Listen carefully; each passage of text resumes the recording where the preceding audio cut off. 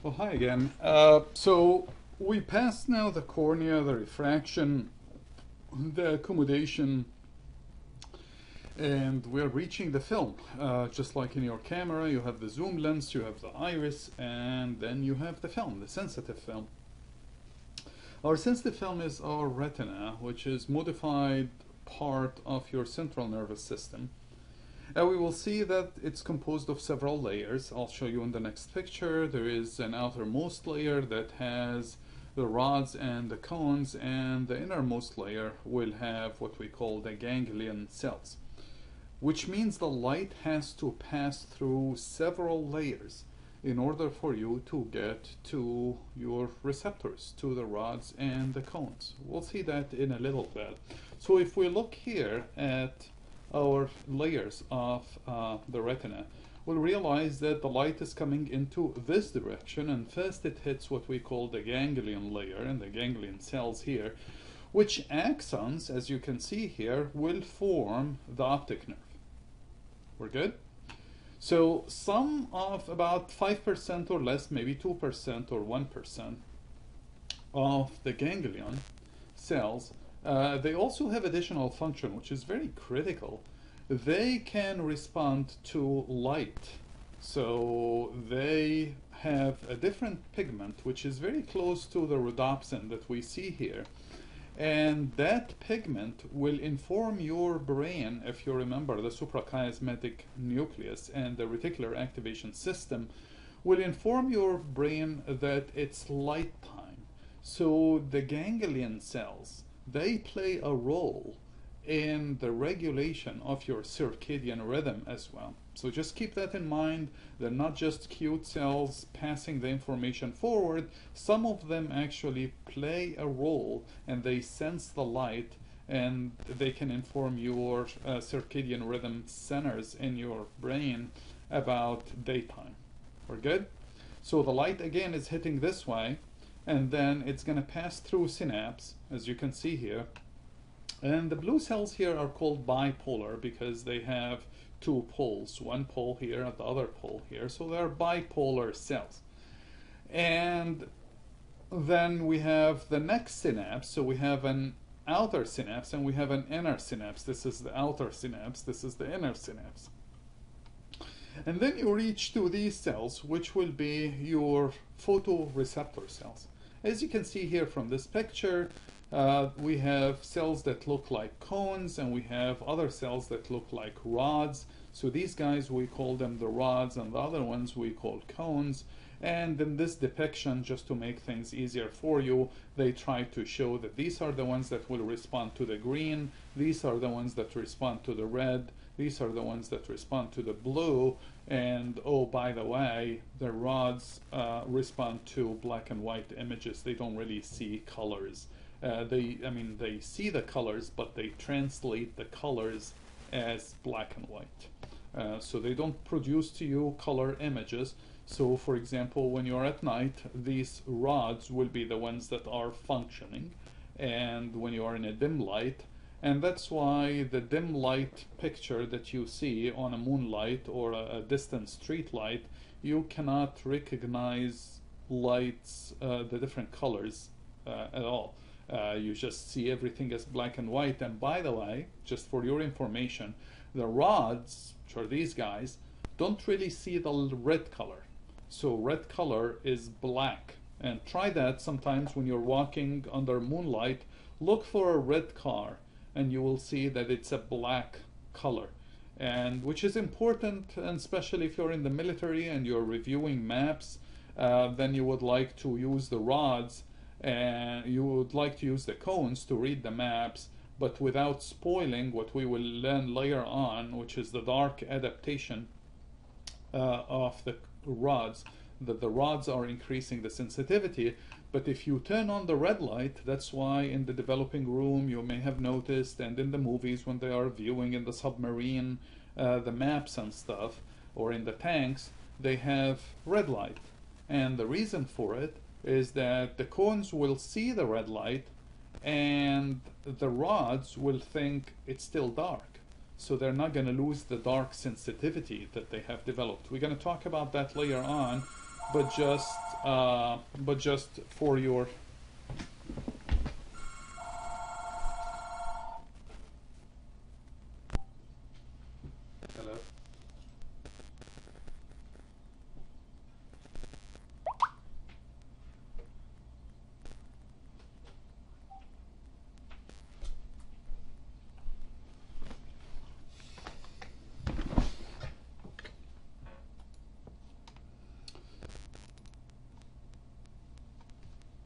So, um, let's see here how we get back to our image. Um, I had a phone call. Okay. So, um, as I said earlier, uh, we have uh, the light passing from uh, the inside of the eye, which would be here. So the light is passing this way, and it will hit first the ganglion cells, and then it will hit the bipolar cells, and finally it will reach the receptor layer. And the receptor layer, as we agreed earlier, will have the rods and will have the cones. We're good? Okay. So, and then in the end, we will have some pigmented layer, and that pigmented layer is very important because it will absorb the light and prevents the light from bouncing back and creating a blur inside your eye. So it's important for us to have a pigmented layer which is part of the retina.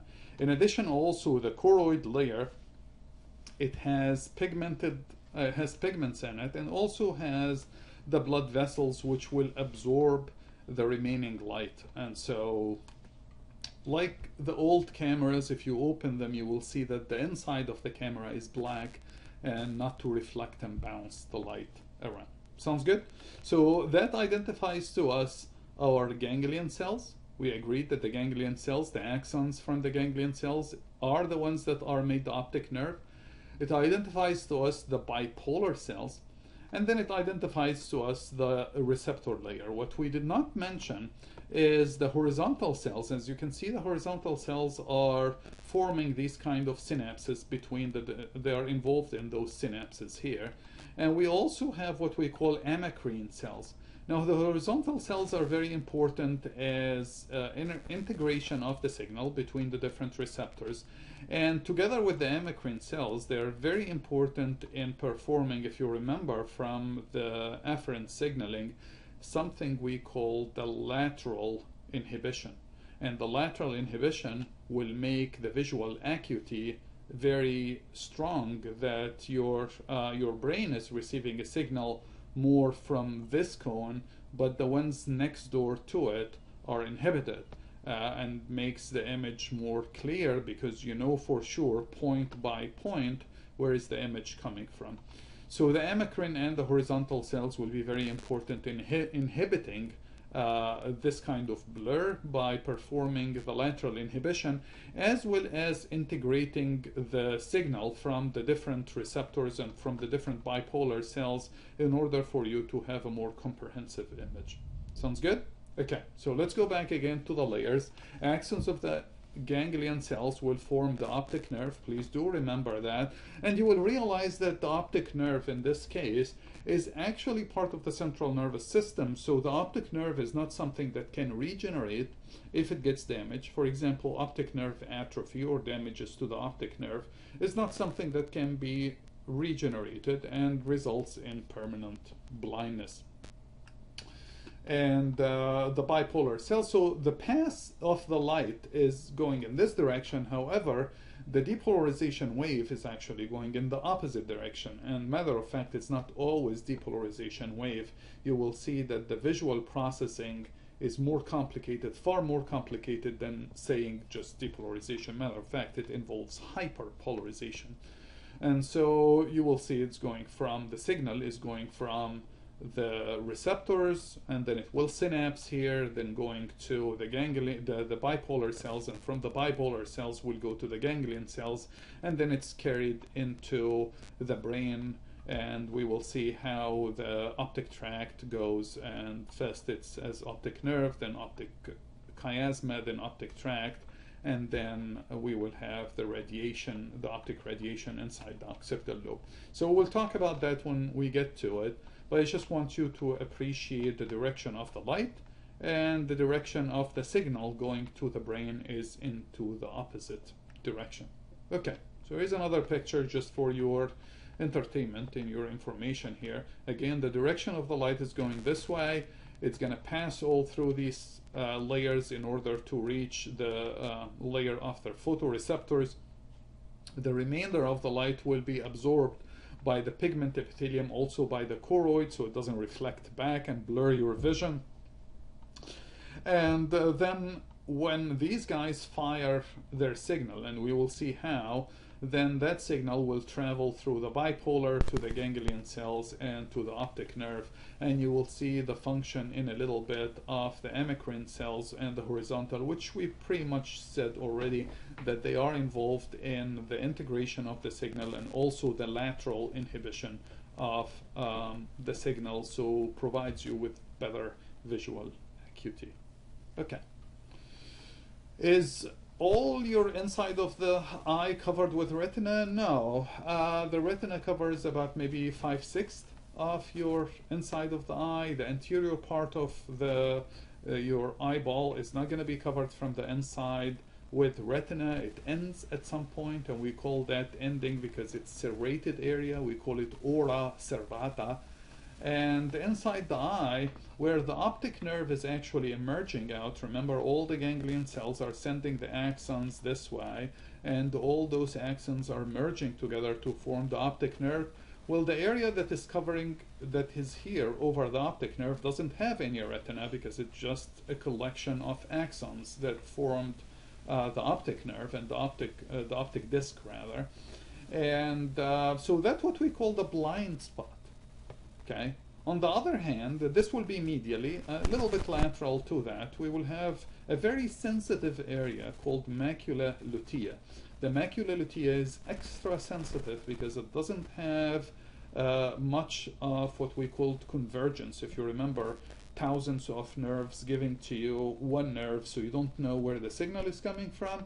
In addition, it will have plenty of cones, which are much more sensitive, especially in the light, than the rods and um, and they give you the color vision and all that.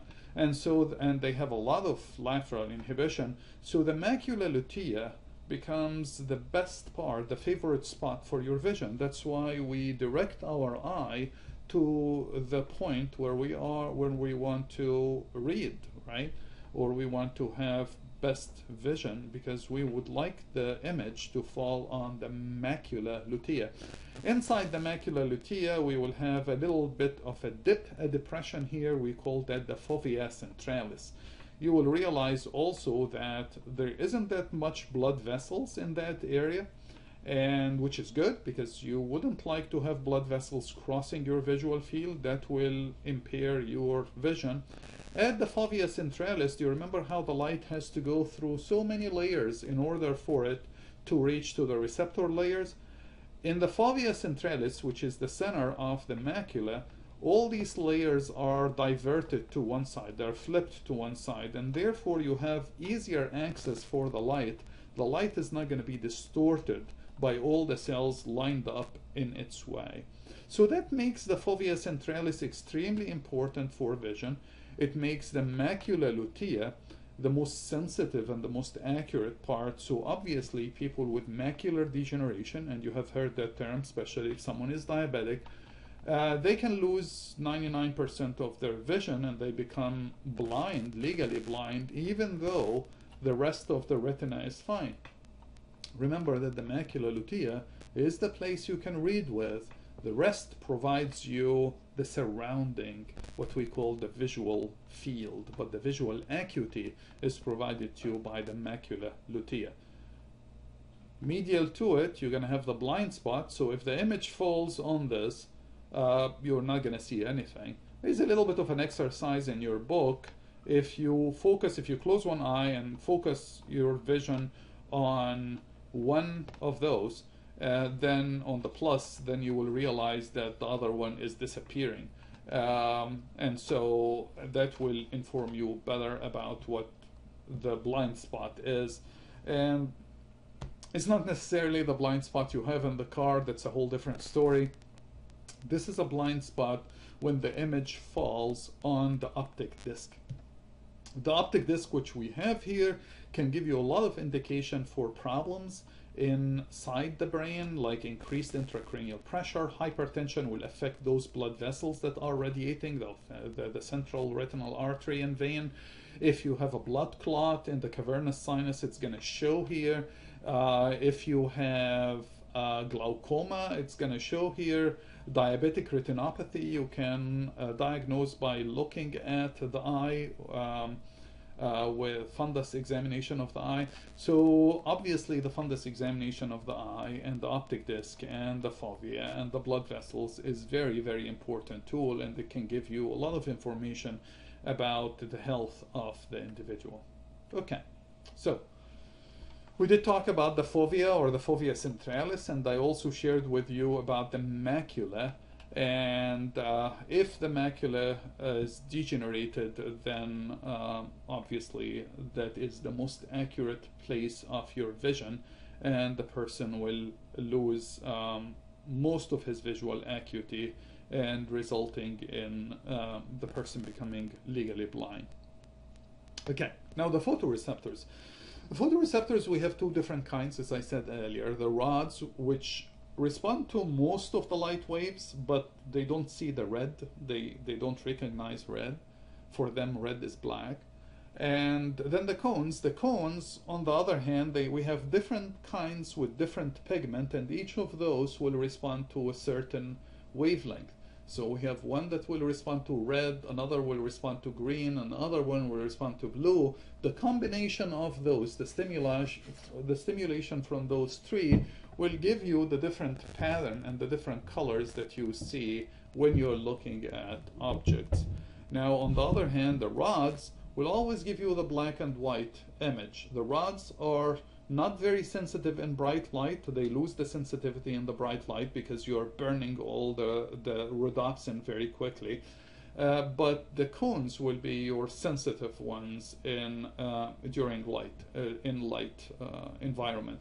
Whereas in dim environment, um, like a moonlight or a very dim light, it's the rods that are sensitive, and the cones they don't have uh, they don't have enough light to give you a receptor potential, which will result in later on an action potential, and we'll see how that how that happens. So keep that in mind. Rods are more sensitive in the dark. The cones are more sensitive in daylight. And so if you go to a dark room, then it's the rods that are seeing, and so you expect to see a black and white image. But you also, if you remember, I told you that the macula lutea has mainly cones. And so that's why in the dark environment, when it's like half lit environment, you can see a piece of paper. You have no problem seeing a piece of paper, but you can't read the text on that piece of paper because if you remember, the macula uh, lutea has only cones, and the cones don't see well in dark.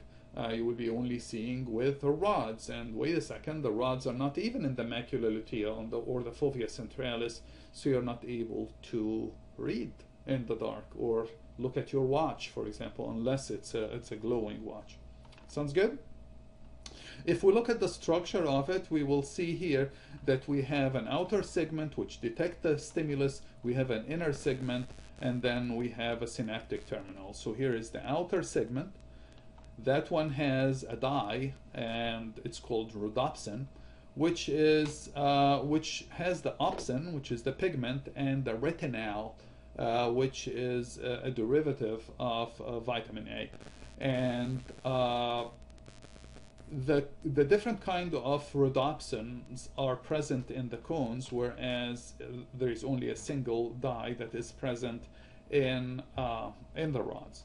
Now you will see in a little bit how the signaling uh, works, but generally we have the retinal sitting inside the opsin here.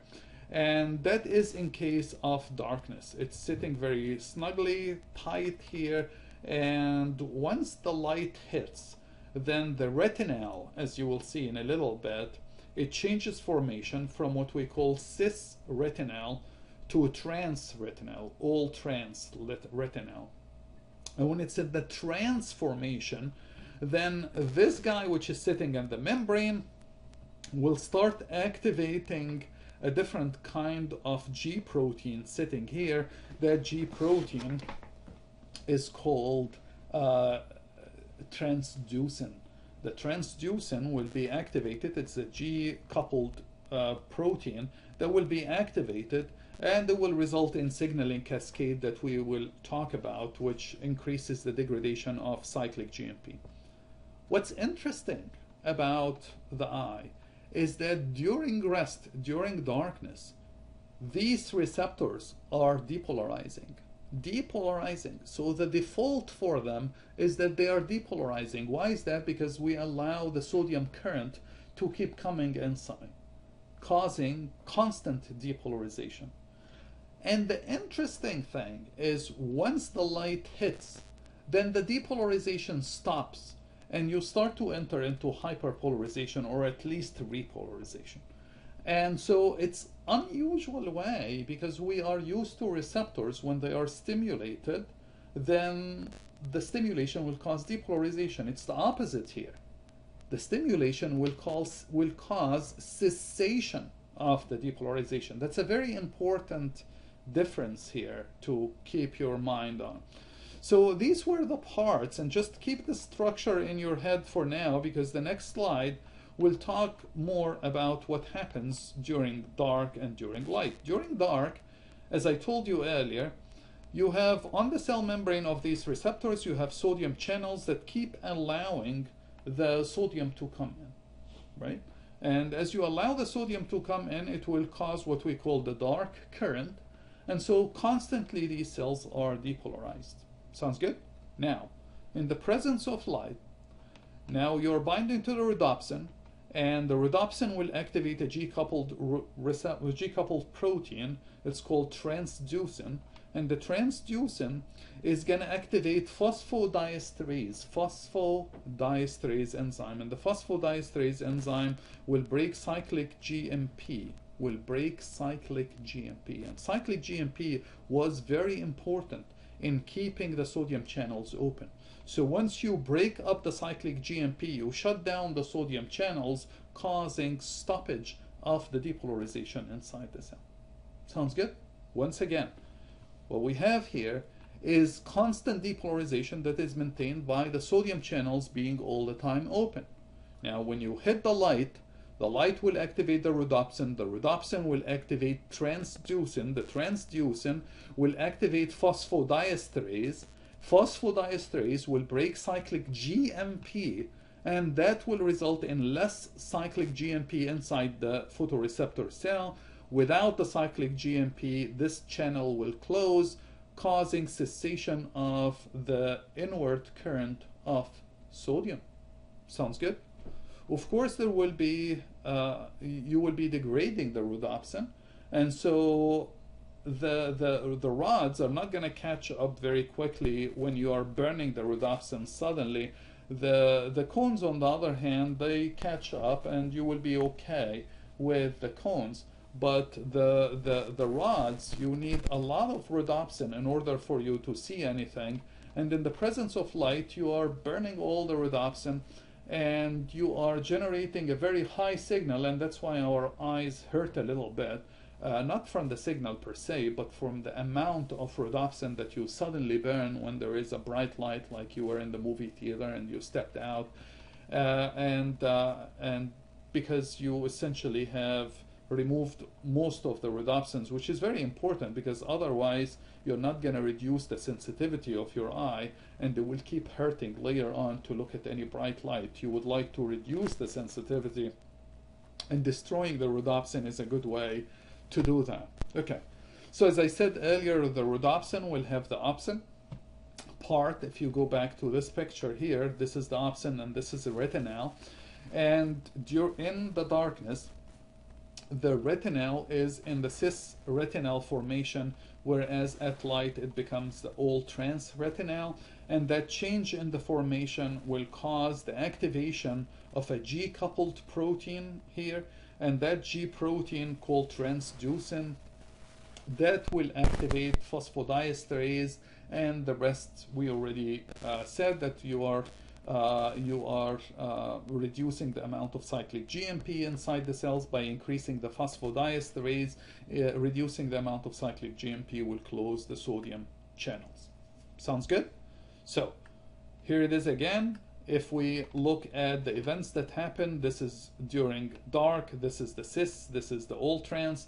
Uh, if you hit it with light, the cis will become the all trans, and then uh, because of the old transformation that will change the shape of the rhodopsin, it will activate a G protein called transducin. The transducin will result in cyclic GMP degradation because you're activating, it's not here in this picture, but you need to know this, that the cyclic GMP degradation by the phosphodiesterase activity will result in the fact that the sodium channels will close and if the sodium channels close, then there is no more depolarization, and that means the neurotransmitter that is being secreted here will get reduced. So wait a second. It's not like we're activating a receptor, so there will be a production of the glutamate, which is the neurotransmitter. No, to the opposite. The neurotransmitter is constantly released and it's in the presence of the light that the neurotransmitter will fail to be exocytosed. So keep that in mind. It's not that we are depolarizing the membrane of the receptor, but we're actually stopping the depolarization from happening because the depolarization is all the time on when it's dark. Keep that in mind. That's a very, very important thing. Okay?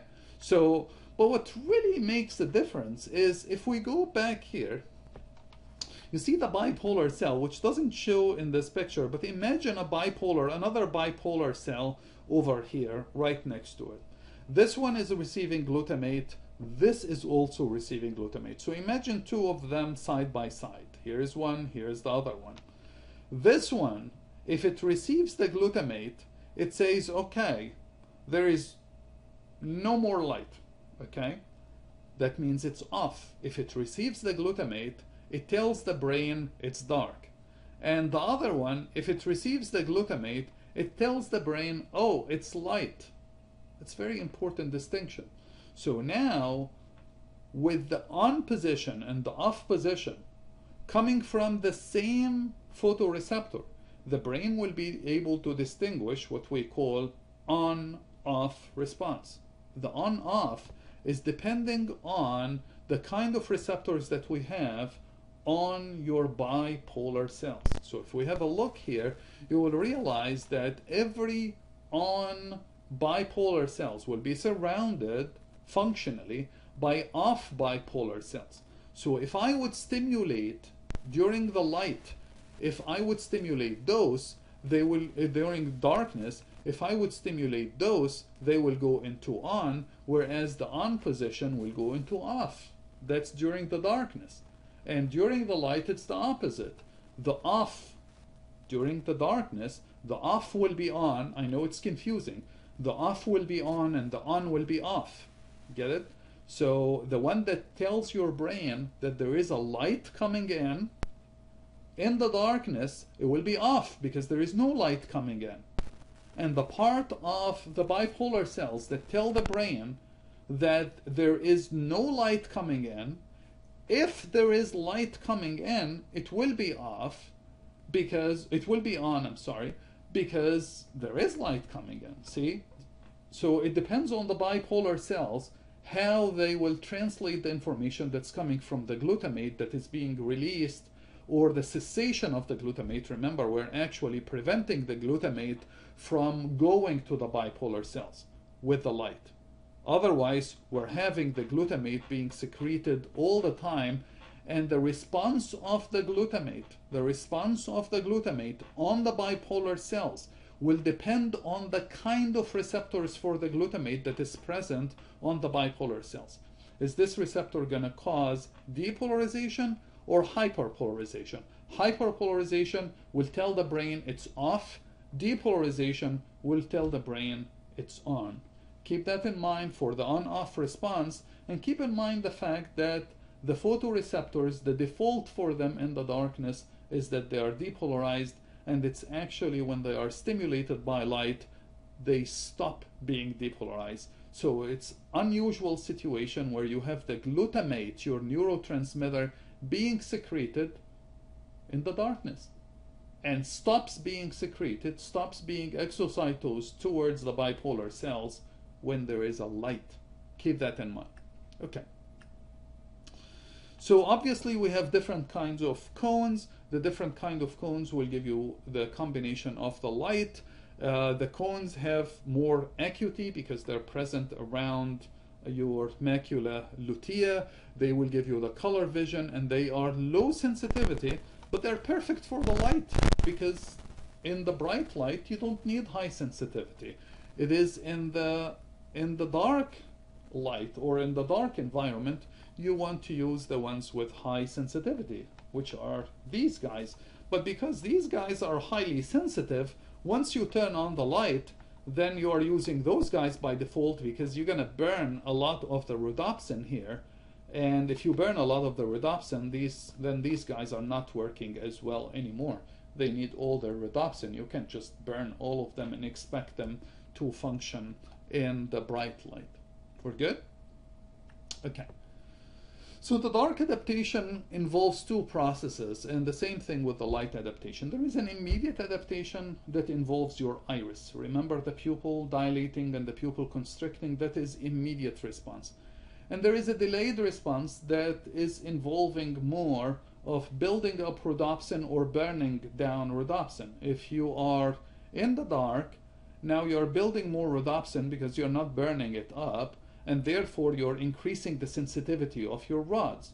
If you are in the light, you're burning a lot of rhodopsins, and therefore you're not going to see anything with the rods, which need a lot of rhodopsin, but on the other hand, the cones will be fine because they only need very uh, little sensitivity to function anyways.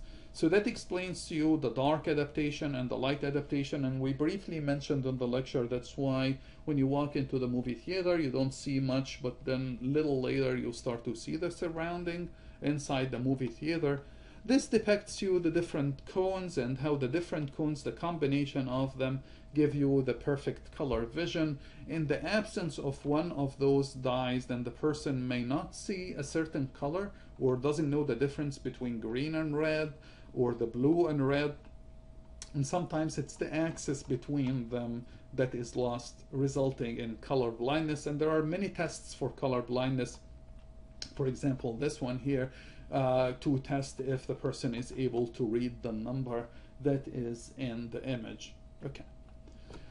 How does the signal go to the brain later on. So as we said, the ganglion cells will form to you, the axons of the ganglion cells form to you the optic nerve. The optic nerve will cross, half of it will cross to the other side and the other half is continuing. This is called optic chiasma. This part here is called optic tract.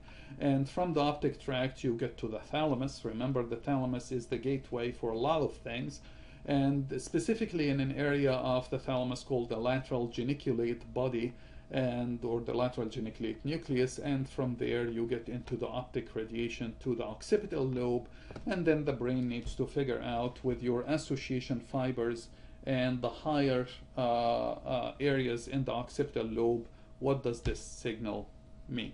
Okay. So that was it for the vision and the physiology of the eye I hope you uh, will find it useful and to review the material and uh, I will see you in class or in the next video. Have a great day.